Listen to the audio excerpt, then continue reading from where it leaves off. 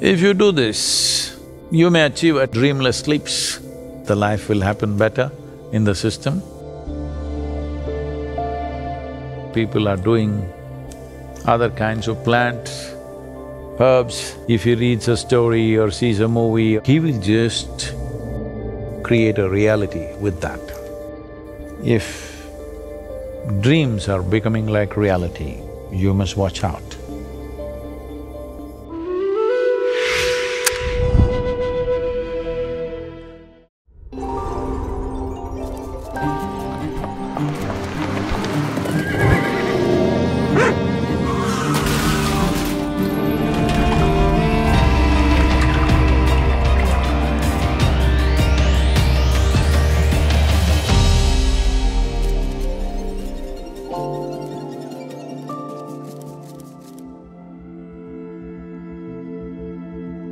Is there a way to do lucid dreaming?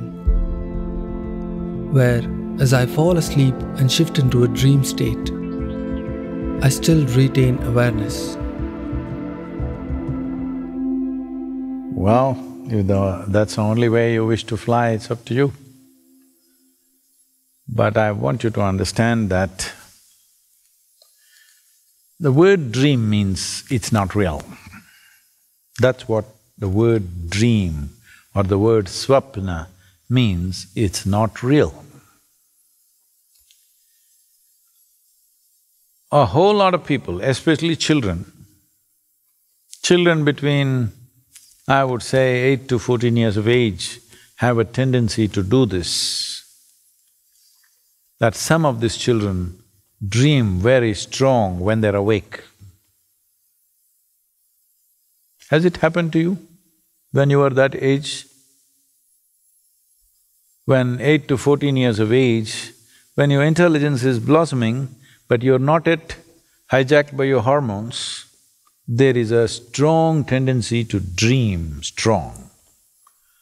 A child will simply sit like this and if he reads a story or sees a movie or something else, somebody told him, he will just create a reality with that.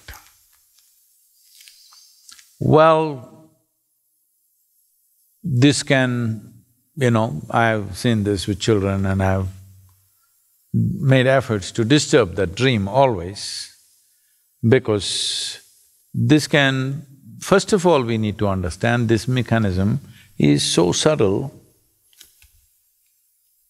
Anything that's subtle, it's robust also, but anything that is subtle always has a certain sense of fragility attached to it. So we must understand our sanity, for every one of us, I'm saying our sanity is not a guarantee. Like your health is not a guarantee, just because you're eating proper food, you're doing the right thing, it doesn't mean for your life you will be healthy. Yes, largely we can take care, but there is no guarantee. People who are doing everything right get unhealthy, get all kinds of diseases. So similarly, your sanity is not an assured dimension of life. It needs to be kept carefully. One must guard to ensure that we don't go off into that. So, giving too much significance to dream and making it more and more real in your experience is like pushing the line of sanity. Well, you may not cross, but there's no guarantee you will not. You could. Many people do. You must understand this. I've seen, you know, some of my… during… when I was a youth, Boys who were around me were normal, perfectly normal in every way. Suddenly after three months, the guy's gone crazy, in six months he commits suicide, he dies. Perfectly normal guy. He has no great issues in his life, nothing, the usual things, whatever, young people, but nothing. There are no drugs, there is no alcohol, there is no anything. But perfectly normal person when he flips into insanity, you don't know. Because it's a very fragile privilege that you have to be perfectly sane in every given situation. There are people who are sane when situations are sane. If situation goes little crazy, they will all go crazy. There's a whole lot of people like that. You just have to… You know that snake around Adiyogi, if it comes alive and just comes here, you will see how many people are crazy, how many people are sane. Hello? Lucid dream. so if outside situations go off, the rack, you will also go off. Because sanity is a very fragile privilege. We must hold it on as a very precious, valuable privilege because once you lose it, we've lost all our faculties, everything that we have, we've lost. So, this lucid dreaming and you know, you can fly, you can become this, you can become that, well, comes from the Native American culture. It's all over the place today in America. A whole lot of people are doing other kinds of plants, herbs, stuff, roots, box, whatever to get lucid dreams. I would say don't, but you can't stop people from dreaming. I have a dream. Yes, I have a dream. Now, if dreams are becoming like reality, you must watch out. Because one day you will not know the distinction. One day when you do not know the distinction, people will experience you as insane. You may think you're perfectly fine. But the world will experience you as insane. This has happened to a lot of people on the spiritual path also, without doing any drugs, without doing any chemicals, nothing. Simply, devotees drive themselves up. We are doing devotion here in a controlled, stable way, it's very important. We are not doing boom kind of devotion which exists in India as a cult. They are like fantastic people, but they're crazy. They will not do anything effectively in their life. But like this, if they sit like this only, no drug, nothing, simply mm because lucid dreams. And once there is not enough stability in your energy system, if dream becomes too strong, then you will know no distinction between what is eyes open, what is eyes closed.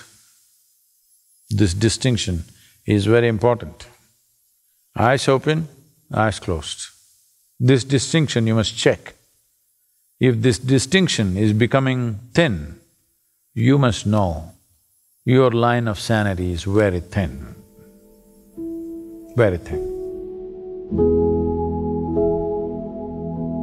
So, the simple thing that everybody could do is, see if you can just lie down on your back for most part of the night.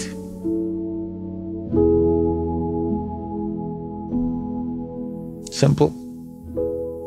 That much practice you do, with the sadhana, if you're doing enough yogic sadhana, slowly these things may evolve by itself. Well, not everybody may be able to lie down flat on their back for the entire night. But in my opinion, you should not be sleeping for the entire night. sunset to sunrise is twelve hours. Uh, a third of that is okay, a little more is okay, but not entire night. If you're doing enough sadhana, if you lie down on your back, then you will see the problem is actually the pillow and your maybe your bum. two bumps, one here, one there. So if pillow is, you notice is a problem, reduce it, reduce it, see if you can get rid of it, it's the best thing. About the shape of your body, all you have to do is, depending upon the shape of your body, accordingly you must adjust the angle of your legs. If you adjust the angle of your legs, the enhancement of body in certain ways that is naturally there will be adjusted and you can sleep on your back. If you do this consciously, at least for half the time that you sleep, well, you may achieve at least dreamless sleeps, which is a good thing, called sushupti. That means your… your sleep is such, there is no REM, there is no dream, there is simply Every day you may not sleep like that, some days some disturbances may happen, something may be happening somewhere, something may… might have happened in your life, something may happen, but there is no need for anybody to go to bed every day and every day have dreams. That means you're not in a very healthy condition, you're not in a good place. Once in a way some dream came, it doesn't matter, you don't have to give too much meaning to it. But every day if you're dreaming, one simple thing to do is this, that you lie down flat on your back and sleep. You will see you will breathe better, that means the life will happen better in the system and all organs will work better and also ensuring if you don't want to have unnecessary dreams, disturbances, you must eat at least four hours before you go to bed, minimum. Five to six hours is good. That is, you're almost hungry before you go to bed, you just drink a glass of water and go to bed. Wow, you'll wake up early in the morning. No dreams, simply sleep and wake up.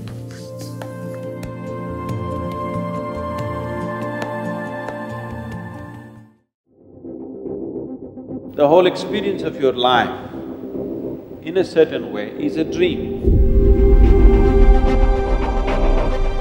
In Anadi, we created a dream machine. So we hasten the dreams a hundred times over than normal. We are not touching your prarabdha karma or the allotted karma. We are only going for the warehouse of karma, the sanchita karma. Because the substance that is necessary to find one more womb has been taken away. But this body is perfectly fine. That means we've destroyed your future.